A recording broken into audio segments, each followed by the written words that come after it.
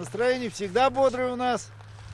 Мы всегда в форме. Спорт идет рука об руку с духом соперничества, поэтому расслабляться нельзя, считает Николай Костицын. В свои 64 не пропускает ни одного соревнования. Участвует и в завтрашнем массовом забеге «Лыжня России» 2018. Но на данную дистанцию вышел уже сегодня, ни дня без тренировки. Просмотр трассы, надо посмотреть, где поворачивать, где обгонять.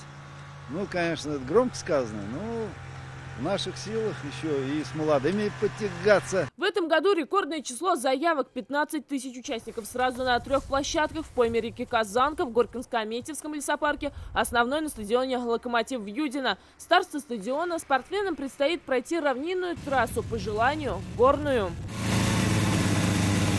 Сейчас идет финальная подготовка к завтрашнему забегу. Работают экскаваторы, трассу прокладывают снегоходы. Работы ведутся и в зоне зрителей и болельщиков. Сейчас приступили к установке первой палатки, но уже завтра здесь будут оборудованы дополнительные пункты питания и обогрева как для самих спортсменов, так и для их болельщиков.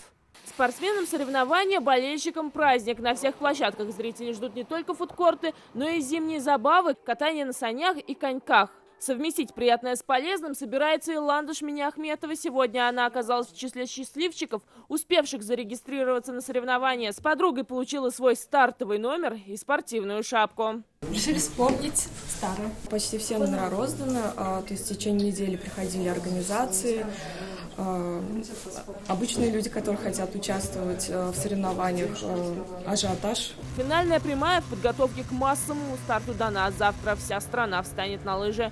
Динара Камалова, Александр Лобанов, ТНВ «Казань».